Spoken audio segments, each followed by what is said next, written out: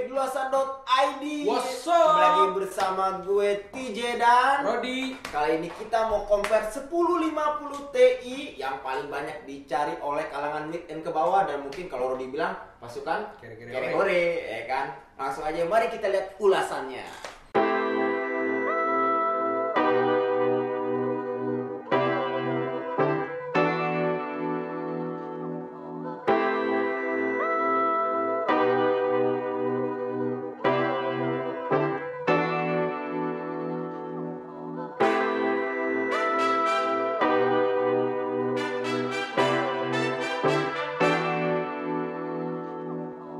Oke buat para penonton ulasan kali ini kita sebenarnya kan bisa dibilang 1050 itu kan ada dua jenis 1050 biasa dan 1050 Ti. Nah tapi kali ini kita hanya compare 1050 Ti karena bisa bilang ini eh, yang paling dicari banyak orang betul gak? Yoi Oke dan 1050 Ti ini yang kita compare adalah brand tentu saja yang masuk ke Indonesia untuk saat ini dan detik ini dan saat video ini dibuat. Di mungkin di edisi mendatang di bulan mendatang ada brand-brand lagi yang lain yang masuk. Betul kan, Bro?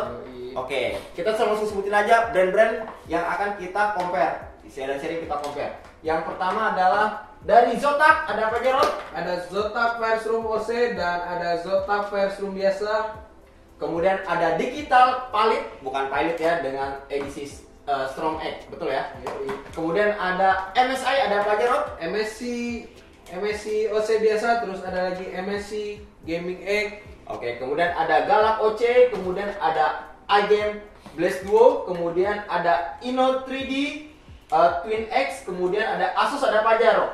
Asus Expedition dan Asus Strix dan ada Gigabyte G1 Gaming. Untuk di GTX 1050 Ti ada dua jenis fan guys, yaitu dual fan dan single fan. Nah, untuk yang dual fan itu ada di Zotac Fires Room OC, terus ada lagi di iGame Blast Duo, terus ada lagi di MSC Gaming X, ada di Asus Expedition, ada di Inno 3D Twin X, terus ada di Asus ROG Strix dan ada terakhir di Gigabyte G1 Gaming. Oke, kalau kita lihat di sini juga kalau dari segi fisiknya kalau gue lihat ada yang menggunakan power connection atau power tambahan yaitu pada iGame Blast Duo, kemudian pada Asus Strix, kemudian pada Gigabyte G1 Gaming, kemudian MSI Gaming X. Tapi kalau kita lihat lagi di sini nih, mungkin dari tempat lu nggak kelihatan, tapi kalau dari gue kelihatan yang menggunakan backplate yaitu iGame Blast Duo, kemudian Asus Strix dan Gigabyte G1 Gaming. Nah langsung aja kita tes benchmarknya pertama-tama di sini kita tes Boss Core Clock-nya. Seperti yang kita tahu semua Boss Clock Nvidia itu nggak mungkin jalan 100% seperti yang kita lihat di GPU Z. Makanya kita tes di sini pakai Firestrike Stress Test untuk menguji berapa core clock yang jalan sebenarnya. Mau tahu gimana hasilnya? Ini dia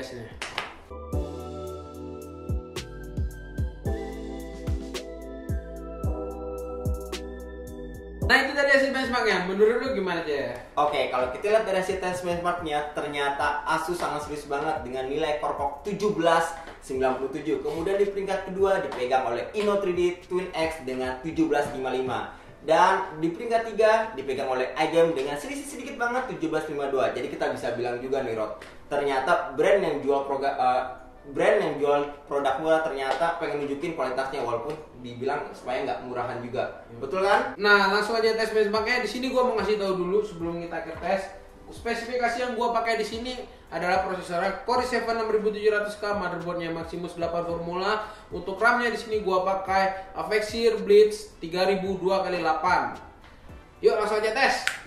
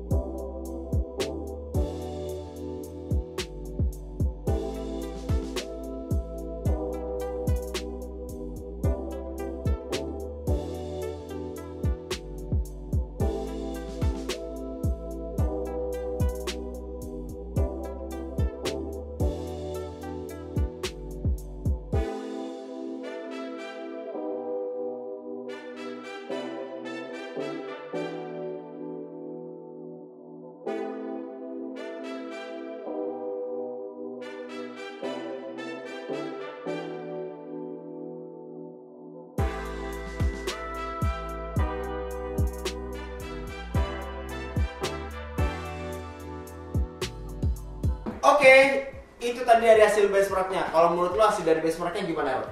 Menurut gua ada yang mengejutkan di sana guys. Yang terutama tuh iGame. Nah, kan kenapa iGame? Karena performance-nya itu sangat tinggi, performance-nya men- hampir mendahului top-top brand tapi harganya juga dia berani bersaing dengan menjual dengan harga murah. Terus ada lagi Asus Expedition. Nah, di situ VGA-nya lumayan gede dengan dual dual fan. Gua pikir di situ bakal boros daya. Ternyata irit banget guys. Bahkan dia paling irit di antara semua VGA ini. Dan ada juga Asus Strix. Nah, di Asus Strix itu bukan kaget guys, tapi di sana dia menjelaskan aja bahwa semua skor benchmark dia paling atas guys. Gue ngerti dah. Sekarang kita saatnya sesi pemberian hadiah. Oke, tapi hadiahnya bukan buat lu guys. jadi hadiah ini buat brand 1050 Ti. Nah, jadi kita membuat 5 kategori untuk pemberian eh, award ini. Yang pertama adalah dari segi best performance. Nah, itu nilai dari apa, Rod? Best performance itu dinilai dari yang mana total hasil skornya yang paling tinggi. Nah, kemudian yang kedua kita juga uh, membuat award dari the best uh, price performance. Nah, itu nilai dari Harga dan performance-nya di mana yang paling terbaik. Oke, dan kemudian yang ketiga kita buat dari the best power performance. Nilai dari Dinilai dari hasil daya yang dikeluarkan dan performance-nya di mana yang paling tinggi. Oke, dan keempat ada the best value yaitu nilai dari Yang mana yang paling murah. dan yang terakhir yang paling the best of the best, the best product. Nilai dari Dari total poin semua dari empat kategori. Oke, langsung aja pasti kalian pada deg-degan kan siapa aja para pemenang dari brand 1050 TI ini versi dari ulasan.id. Yang pertama adalah The Best Performance. Oh, ini dia hasilnya. Pertama jatuh kepada Asus Strix dan yang kedua adalah MSI Gaming X, terus yang ketiga adalah iGame Blaze Duo. Oke, selamat buat para pemenangnya. Kita tangan dulu. Kemudian The Best Prize Performance jatuh pada ini hasilnya. Yang pertama ada Galax OC, terus yang ada lagi Zotac Firestorm, terus ada lagi Ino 3D Twin X. Oke, selamat buat pemenangnya. Oke, dan yang ketiga adalah the best power performance. Ini pemenangnya. Ada Gigabyte G1 Gaming yang pertama, terus ada Zotac OC, terus ada lagi Ino 3D Twin X lagi. Oke, selamat buat pemenangnya. Dan keempat, the best value pemenangnya adalah Dren. Ini sih udah bisa ketahuan juga sih dilihat dari harganya paling termurah. Langsung aja Rod sebutkan. Yang pertama adalah Galax OC dan yang kedua adalah Zotac Firestorm dan yang ketiga adalah Ino 3D Twin X. Oke, hore, selamat pemenangnya.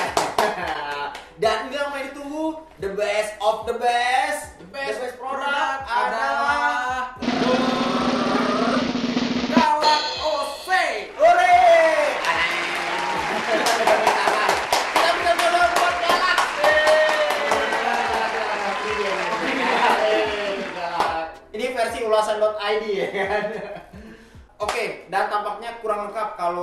Nggak memberikan tips. Nah, tipsnya ini khusus untuk 1050. Apa nih, Rod, tipsnya? Nah, seperti yang kita tahu, GTX 1050 Ti itu ada limit overclockingnya guys, yaitu core 1911 dan memori 2000. Nah, sekarang ada kabar gembira bagi kita dari Nvidia. Nah, Nvidia bisa membuka limit itu dengan cara update driver Anda ke yang paling baru atau minimal 375.95 atau yang di atasnya lagi. Kalian bisa menginstal itu dan kalian bisa mengoverclocknya lebih dari 1911 core-nya dan lebih dari memorinya 2000. Cukup dengan mengupdate driver kalian guys. Oke, dan itulah tips dari Rodi dan tampaknya video Kompleks 50 berakhir sampai sini ya Rod ya. Oke, langsung aja komen di bawah sini kalian mau pilih brand atau seri 1050 Ti yang mana dan jangan lupa untuk like dan share. Mungkin siapa tahu aja teman kalian mau beli 1050 Ti dengan ada info ini jadinya mereka tahu ya kan kira-kira pilihan yang mana. Dan jangan lupa untuk subscribe-nya juga supaya tidak ketinggalan video-video terpanas kan mengenai ulasan.id. Sampai ketemu di video selanjutnya bersama gue TJ dan Rodi, bye-bye. Bye.